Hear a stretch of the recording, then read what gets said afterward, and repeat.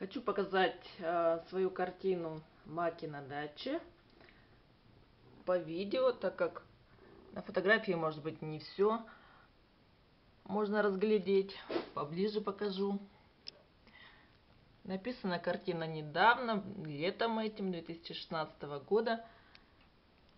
Так как у нас в Мурманске очень холодно и, конечно, хочется тепла, позитивного настроения. Вот с таким настроением и написана данная работа. Очень позитивная. Присутствуют яркие краски.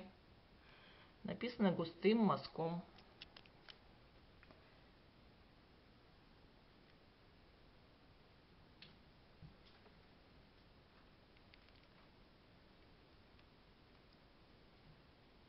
Покажу еще поближе. Кот мешается. Это мой кот Беляш. Ангорский. Вот и все, пока скажи.